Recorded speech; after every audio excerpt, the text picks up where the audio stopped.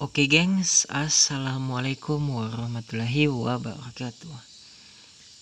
Nah di sini kita punya soal limit ya. Nah ini kalau kita masukin a ya, langsung x kan a, masukin a gitu ya. Nah, itu hasilnya 0 per 0 ya, 0 per 0. Nah dalam dunia limit ini nggak boleh ya. Ini 0 per 0 ini namanya tak tentu ya nggak boleh ya.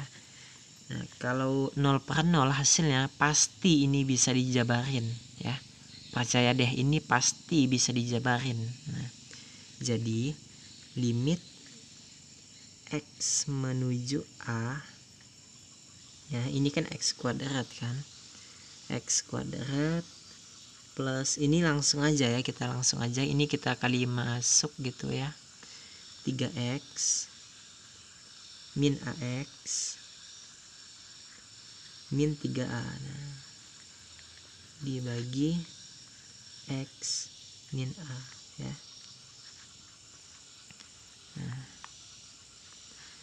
Oke yang ada A nya kita kumpulin sama yang ada A nya ya.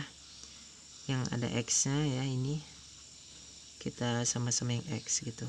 Nah ini boleh kita pecah ya menjadi X dalam kurung X plus 3 ya. Ini kali ini dapat ini ini kali ini dapat ini kan? Nah ditambah nah, min A ya. Min A berarti min A dalam kurung X plus 3 kan? Nah X plus 3 ini kali ini dapat ini ini kali ini dapat ini kan? Nah set. Nah X minus A ya. Nah ini kan sama nih ya. Ini kan sama. Ya kayak kayak ini tadi kan X sama X atau A sama A boleh kita pecah. Nah artinya X plus 3 ini boleh kita pecah juga ya. Nah X plus 3 ya dikali ya X berarti ditambah min A ya X min A.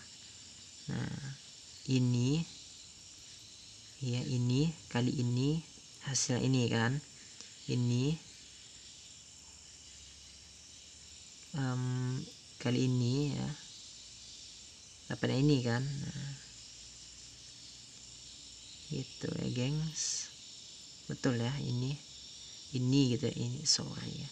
Ini selesai ini dikali ini dapat ini. Nah ini. Kali yang min a ya dapat ini. Oke dibagi ya X min A. Paham lah kalian ya. Nah ini kan sama ya. Nah ini habis jadi limit X menuju A ya X plus 3 nah inilah sisanya ya.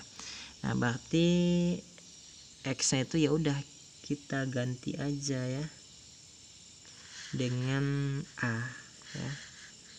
Jadi A plus 3 ya X nya kan A A plus 3 gitu ya.